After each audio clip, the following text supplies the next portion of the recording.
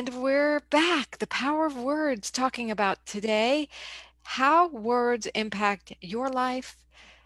Your own words can impact your own life and other people's lives. I have two experts here with you, as you can see on the screen, who are ready to share with you the power of words. So let's go ahead and meet them. Hi, Zan. Hello, Laura. Thanks for having me. I am Zaneta Varnado Johns. Everyone calls me Zan. I'm a creative writer and I'm tuning in from Westminster, Colorado. It's a little chilly here. Uh, you can find me online at zanexpressions.com. Yay, great to have you here. Thanks. And hi, Traci. Hey, Laura. It's such a pleasure to be here. I'm Traci Philips. I am an executive leadership and performance coach and I am actually uh, coming here uh, from uh, North Carolina today.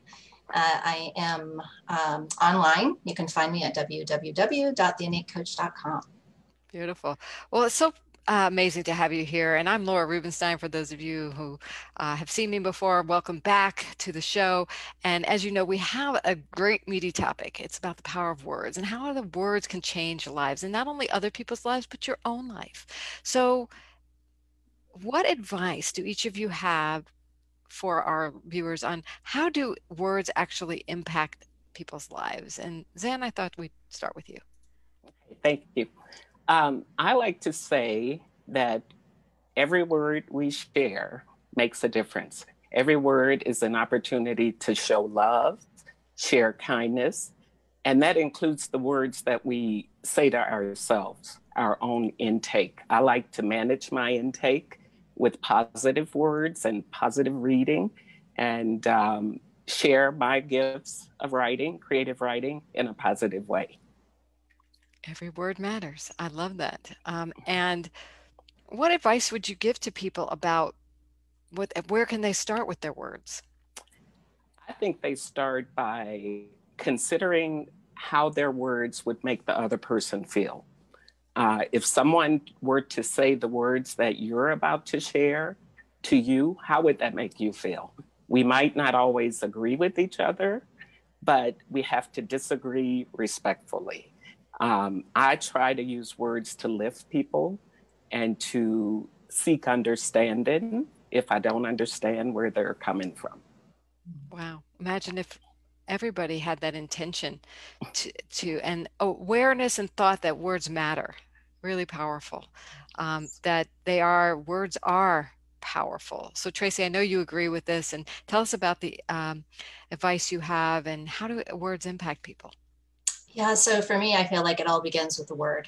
You know from this we give meaning to things and this becomes our perspective of reality. Really it creates what we see and believe. And so one of my top talents just happens to be the ability to read and translate people's language. Uh, and so their strengths and potential comes through in their language, as well as those things that are blocking them from who they are and where they want to go. And so for me, I rely on words to do what I do. Hmm. So tell us about this talent you have about translating words and uh, how people can translate their words. What advice do you have? Yeah, well, it's it's funny because this this talent I've had apparently since birth, um, and it used to get me in a lot of trouble, as you can imagine. I could hear um, what I call incongruencies in people's language, and so being able to ask that question, well, something's not adding up, and then to be able to kind of again through questions come to uh, an awareness of what that gap is you know bringing that forward and doing it obviously in a mindful way now uh, you know wanting to support people to find what those pieces are within them. You know one of the greatest tips i love to say with language because it does have a resonant point you know all all words resonate at different values. And so you know one of the things that we all say a lot is uh, the expression i have to right? I, I have to make that phone call. I have to write that email. And if we shift that and we can feel actually that resonant point i have to mm, doesn't feel so good kind of restrictive. But if we were to shift that to the words i get to it suddenly puts us in a state of gratitude that shifts our entire the, whole vibration and the way in which we look at this right i get to make that phone call i get to send that email so that's just a little tip that i like to, to share with people i love that shifting into gratitude by shifting the language. I mean, that is the power of words you just pointed to. And Zan, you pointed to how kindness makes a difference, treating people at, at an esteemed level. So what a, a, gift to just bring this back and say, you know what? Why not? Why not bring that positivity into our lives? Hello, could anybody not use a little more positivity?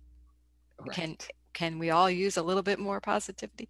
Sure. Yeah. So that's what we're here talking about. And I want to talk a little bit about who you are, um, who you, what you do for people in the world. Uh, now that I know your expertise around words, it's like, well, what lights you up? What impact are you making? Who do you do it with? And um, what do you do with them? So, Zan, why don't you tell us what you do in the world? Okay. I'm, I'm transitioning now. I'm a retired human resources leader and up until this spring, that's how I introduced myself for the last 13 years. Um, when the pandemic hit and the world slowed it, slowed down, it got quiet. My inner voice got louder, and so by releasing my new book that we'll talk about later, uh, a book of poems, I am sharing a collection of positive thoughts that I've had for 45 years. Um, I want people to be able to own their own stories and to get a good feeling from whatever comes up for them when they read my poems, and that they might reach out and rethink how they receive other people um, with empathy, with compassion, um, and just change the world. I'm hoping that we could change the world with our positive thinking. I love that. So tell us a mm-hmm. little bit more about um, how you got into, you transitioned here and your story and then your book. Okay. okay. This is interesting. So the pandemic hit in March, February. In April, I, I was fearful. We were all afraid of what's going on. And I usually pray before I write a significant poem. If I'm going to pay tribute to someone or if I want to write about something that's meaningful. So I prayed one night and woke up the next day with words to describe what we're living through right now. The title of the poem is Spiritual Reset. We created an audio video to go with the poem and posted it online. Now, that was a big step for me because I tend to keep things close, but I'm growing, I'm stretching. So we posted the video online and it was well received. It was very positive. And one of the reviews that came back really moved me. What not not just one, but there was one in particular from a retired couple in California. And they said they hadn't been their usual selves, that the words in my poem and the movement of the video, the pictures were so positive that it lifted them. It wasn't political.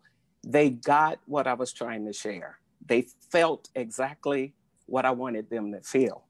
And the rest of the input that I got from people who saw the video, it was viewed uh, about 2,000 times, I think. The rest of the feedback said, you need to write more. You have a gift. You need to share. Well, I know this. I've been planning to share for a decade. But I got busy with family and I've had a good time. I've enjoyed being retired and quiet and still. But that inner voice got louder and louder. And so I dusted off my desk. I pulled out my poems, my 45 year collection of poems, and I wrote Poetic Forecast Reflections on Life's Promises, Storms, and Triumphs. And that book will be released this fall, and I'm beyond excited. Woohoo! Well, we're excited for you. So, congratulations. You, this is uh, like the perfect timing for all of this. So, um, so that's uh, what a great inspiring story, and also a story about the power of words. So, Traci, I'd like to hear since the word is everything for you. Tell us about who do you work with, what do you do, what what is the impact you're making? Absolutely. Well, I just want to say, Zan, I, I totally see how we ended up on the same show together. And yes. was exactly what I have seen since 2020 began is that we're in a reset. So it's, it mean, use the exact same language that just makes, it gives me chills really. Mm-hmm. Mm-hmm. Um, I'm also working on a book, and it's about coming home to ourselves and finding that reset within us, you know, kind of deconditioning from what the outside world has been telling us our whole lives and really getting connected with what we came to this world to be and do. So again, there's a lot of similarity there, but I tip, I uh, work specifically with visionary entrepreneurs and corporate professionals. And so visionaries are their own unique breed. Uh, they they have a, a, different need for support as well as a different toolbox um, that that they really require in order to do what they what they do. And and really, and when visionaries don't succeed, we all lose because visionaries are the ones mm. that came to bring us to that next evolutionary step. You know, when we're speaking collectively. And so helping these people, I mean, typical visionaries, Walt Disney, we all know, you know, Walt Disney was an amazing person, but he couldn't even balance a checkbook, as the, the stories say. If it weren't for his, his brother Roy, all of his visions that Roy put into reality would have never come true. So, you know, these visionaries being able to be coupled with implementers and other team, you know, members that can help bring these things forward is so, so critical. Um, so I, I thoroughly enjoy what I do and that ability to bring visionaries down out of the ether a little bit through their words. Words are very grounding. You know, when we put something in language, like I always say, definition is key. If, if we have a cerebral concept of something, but we don't define it clearly, it's going to be very hard to work with it. So one of the things I have my clients do is, is to clearly define what I call the what, how, and where in their lives. What is their innate value? Uh, how is that authentic approach to delivering that value and where are those ideal environments that best support them and so once they know this once they've defined it they know what to look for they know what's in their their lane they know what's out of their lane and it's a lot easier for them to get there and, and again succeed so that we all succeed Wow, I love that little roadmap that you give to to them because then they can give it to those people who support them. And you're so right. The visionaries uh, are the ones who put language to the hopes and dreams of people and th- mm-hmm. their hopes and dreams and brings that to other people too uh, so uh, get, do you have a story about how you helped a visionary I do actually. Um, I've, I've, helped a number of people in this way, but this particular story was a lot of fun because I find my corporate um, visionaries to be different than my entrepreneurial visionary clients and this particular gentleman um, had been you know he's a he was a vp he was at a vp level of, of what he had been doing his whole career. And so he had made a great success of himself but what i kept hearing in his language was a calling to a different arena. And so i kept trying to you know pull that you know kind of tease that out and give that more definition. And what we we you know what he discovered was he was actually getting a vision of what would happen in an entirely different field but he didn't feel he could go over there because that wasn't his practiced credentialed area. And i kept you know kind of getting him starting him by just saying well do you know anybody over there? Could you just have coffee or, or lunch with them and just share your ideas? So, yeah i could do that. So he did that. Well it eventually led to uh, somebody looking to hire him. And he came back and said oh, i can't do this. I'm not you know. And i said okay if you were to do this on your own, how long do you think it would take you to get there? And he said, Well, I probably have to get credentials in this and that, probably five to 10 years. I said, What if we could do that in half the amount of time? Take that person up. Just, just, just see what it's like to go into that other area. You know, you're not happy where you are.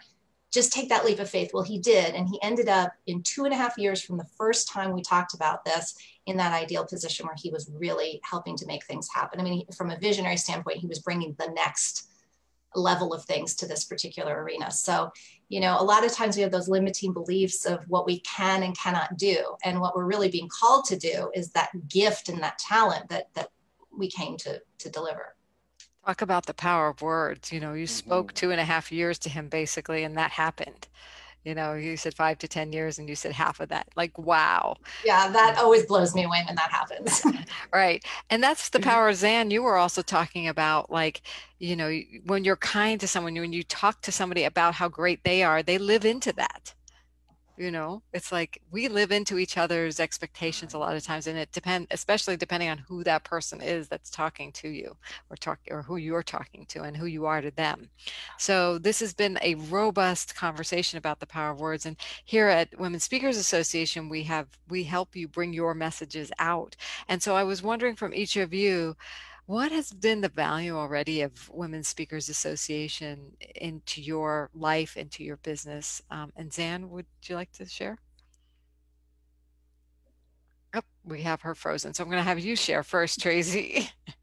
All right. Yeah. So Women Speakers Association, I, I a little while back met a woman who was in the association. And i just thought she she added so much value and she was a great she's a great she still is you know she's a great speaker you know wonderful connector. And so we got to talking about it and she shared you know who she was associated with and everything. And so i started to really think about that because i've been a speaker for a while but i've always kind of done it alone. And i like the concept of collaboration of support you know, of, of being able to learn from one another. Um, I'm a lifetime learner. And so really this, this association has helped me to have all those things, right? To not feel like I'm doing this alone, to have the, I mean, the resources are tremendous. Um, but just to feel like I'm in with a, like-minded individuals, movers and shakers. I'm all about rock stars, um, and and it's been a wonderful, a wonderful experience.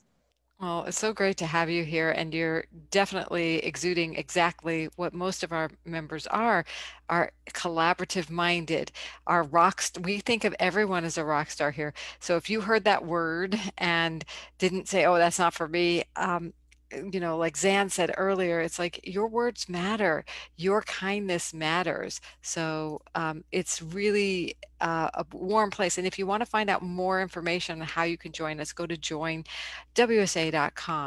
and welcome back, Zan. We would love to hear from you what the value of Women Speakers Association has been to you to date. It's been invaluable. And remember, Laura, you said whatever happens is perfect. you lost me, and I was, it's perfect. Uh, WSA has been very inspiring.